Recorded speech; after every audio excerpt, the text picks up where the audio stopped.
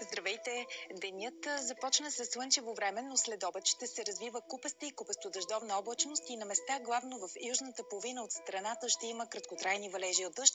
В отделни райони е възможно и да прегърми. Ще духа слаб до умерен вятър от запад-северозапад.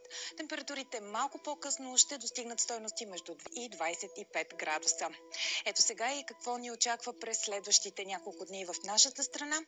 Ще видим картата с очакваните температури, а, но преди това времето в планините днес отново ще има на места и слаби превалявания, главно в Риородопската област в следобедните часове. А иначе времето у нас до края на тази седмица и в началото на следващата ще се задържи с повече слънце до обяд, краткотрайни валежи в следобедните часове, температурите обаче се повишават. От вторник вече ще има и райони с температури около 25-27 градуса. Такава е прогнозата за времето. Останете с предаването.